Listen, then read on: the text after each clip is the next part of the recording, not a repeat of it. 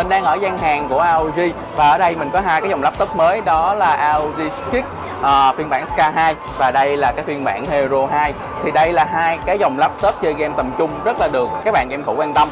Thứ nhất các bạn nhìn thấy đây là hai cái dòng laptop này nó có màn hình là 15,6 inch và chúng ta có cái tần số quét là 144 Hz cái màn hình này là cái màn hình Full HD và sử dụng công nghệ IPS cho nên góc nhìn rất là rộng cũng như là cái giải màu rất là tốt. Vì sao gọi là Hero và vì sao gọi là Scar? Thì đối với lại dòng uh, Scar thì các bạn thấy là đây là cái dòng được thiết kế dành cho các bạn game thủ chơi uh, bắn súng. Và cái điểm đặc biệt của nó là chúng ta có cái cụm nút WASD là cái cụm nút của bạn thường sử dụng để di chuyển á là nó được làm trong suốt và nó rất là khác biệt so với lại cái phần còn lại còn đối với lại cái dòng uh, Hero là cái dòng được thiết kế dành cho bạn nào yêu thích những cái game MOBA thì nó sẽ có cái, cái, cái nút là W uh,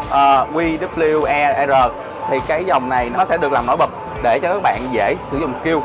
Về cái ngôn ngữ thiết kế thì hai cái dòng này nó gần như tương tự nhau. Tuy nhiên về cái phần bề mặt thì uh, cái phiên bản uh,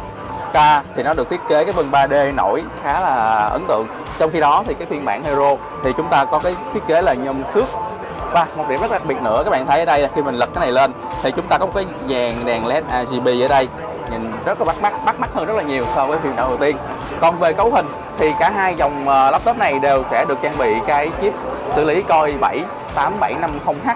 và kết hợp với lại ờ, bộ xử lý GTX 1060 đối với dòng Hero 2 và 1070 đối với lại dòng Scar 2 thì dòng Sky 2 thì nó sẽ cao hơn một chút.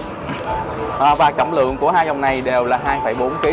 đây là cái trọng lượng nói chung là đối với một laptop chơi game truyền thống thì nó không phải xuất sắc nhưng mà chấp nhận được. Bên cạnh đó thì có một cái điểm thay đổi nữa của Asus đó là họ biết rằng là chúng ta khi mà chơi game thì chúng ta rất cần cái sự ổn định của mạng. Và đối với lại Sky 2 và Hero 2 thì Asus họ đã tích hợp bốn cái anten trong này. Bình thường thì chỉ có hai anten mà thôi tuy nhiên trong này thì có bốn anten. Thì nó sẽ giúp cho cái um, cái trải nghiệm khi bạn chơi game, cái độ ổn định khi mà chơi những cái game online, nó sẽ ổn định rất là nhiều so với những cái ờ, laptop chơi game bình thường. Rồi, xin cảm ơn.